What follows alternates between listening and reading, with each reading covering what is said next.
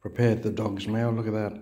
Two big sticks of chicken cartilage and meat with some sort of other little snacks mixed in with yesterday's rice and Thai sauce to give him flavour.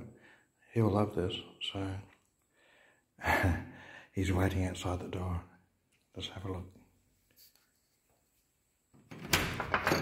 There he is. Tuk Tik. Come on. Wow, it's a bit cool, isn't it? Here we are, Tuk Tik.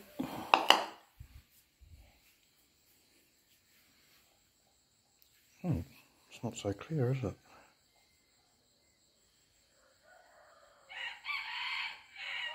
It's the lighting, uh, uh, you lose your clarity.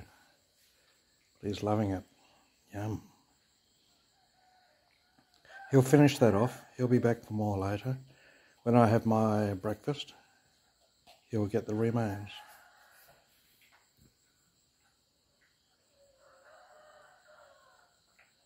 He's a little bit skinny, so I'm trying to feed him up a little bit. Good boy, Tuk Tik.